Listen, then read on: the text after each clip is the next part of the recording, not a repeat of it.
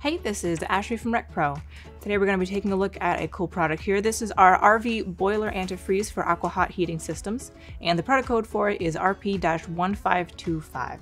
Now, this antifreeze is a propylene glycol based uh, solution with low viscosity, and it is available in two of these gallon packs or four of them.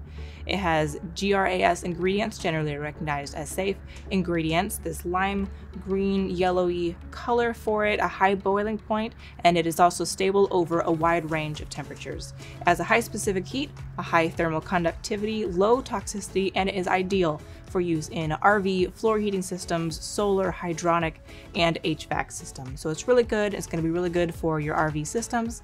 And if you want to find out more about it, you can click the link below, then like, comment, and subscribe. And remember, when you're rolling down the road, roll with Pro.